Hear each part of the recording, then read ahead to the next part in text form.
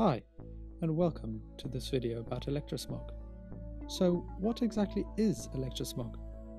You probably heard of the term smog before, but not electrosmog. In a city with many high buildings and millions of people, cars, and a booming industry, dirty and unhealthy air from exhausts and pollution is inevitable. Collectively, this is called smog, a word combination of smoke and fog.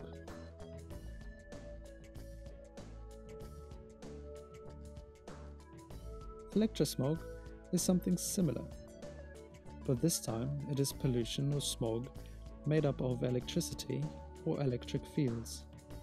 Collectively, this is called electrosmog, a word combination of electronic and smog.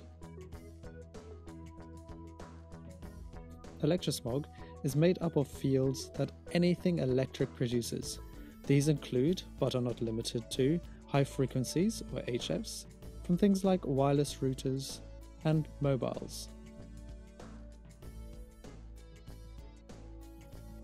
And electromagnetic fields, or EMFs, from the likes of lamps and cables.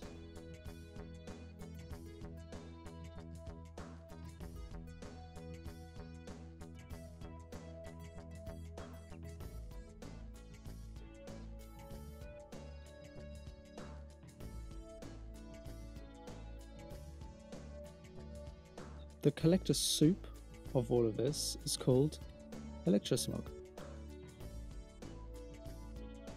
To find out more about electrosmog and the influence it can have on you, please go to our website or click on one of the videos in the description.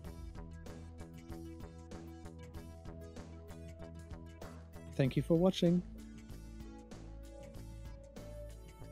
Please like and subscribe for more videos like this.